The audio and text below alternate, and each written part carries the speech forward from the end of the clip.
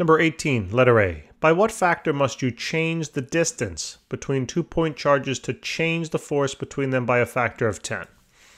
All right. So basically, um, we're talking about charge forces between charges, so we know we're dealing with the electrostatic force formula. That the force of attraction or repulsion between two charged objects is going to equal the electrostatic constant K multiplied by the product between those two charges. All right, and take the absolute value there, and then divide it by the distance between them squared. So we have to figure out by what factor must you change the distance value so that the force of them changes by a factor of 10. All right, now I could show you with ratios here, but honestly, this is just easier thinking about it this way. Plug in the factor for force.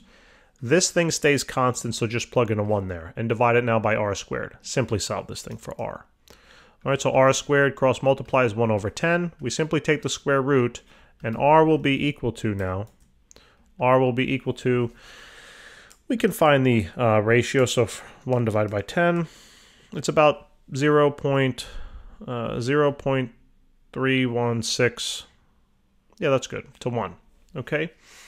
So it says, so basically what we realize is that in order to increase, so what this is telling us is order to increase the force by 10 times, right, or change, essentially, change the force by 10 times, we're going to have to uh, manipulate the distance. And specifically now actually what factor between the point between yeah factor 10 so sorry about that. I just want to re, uh, reread the question. So if i want to increase the force by 10 right i'm going to have to then reduce the distance between them to about 30% or so 0.316 of its original value.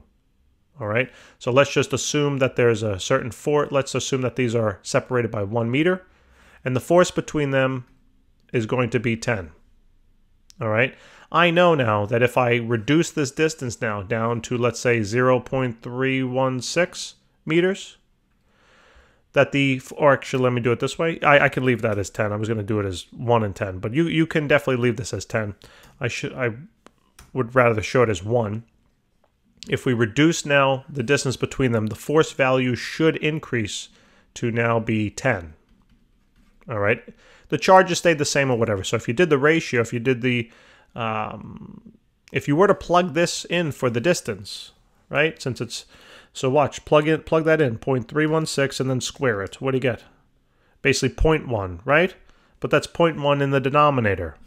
So when you do a value divided by point, uh, excuse me, point, uh, 0.01, no, sorry, 0.1, what am I talking about? 0.1, this goes up by a factor of 10. So if you were to do the math there, it, it should all uh, kind of make sense. And then um, it says letter B, what does this? Explain how the distance can either increase or decrease by this factor and still cause a factor of 10 change uh, to the force. So if we were to, you know, lengthen now, we can think about lengthening instead of shortening it, we could have lengthened the distance by essentially the reciprocal of this uh, change, all right?